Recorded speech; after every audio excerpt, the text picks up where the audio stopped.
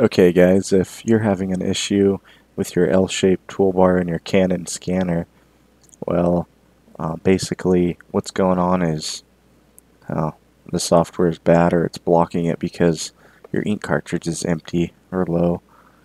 So you're gonna you're gonna just download this this uh, scanner from it's it's called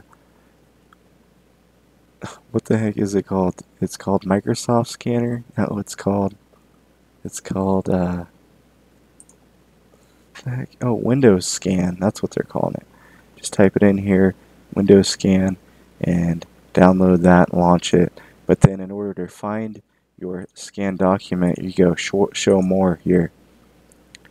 After you hit scan, or well, before it, same screen, you're going to come here and then save it to scan documents or your desktop would be the best place to find it the easiest or wherever you want to put a folder called scan documents. Okay so just save it um, somewhere where you can find it like on your desktop. Easy peasy and like this video if it helps and if it saved you a lot of grief so other people can find it and you can find it later. Alright thanks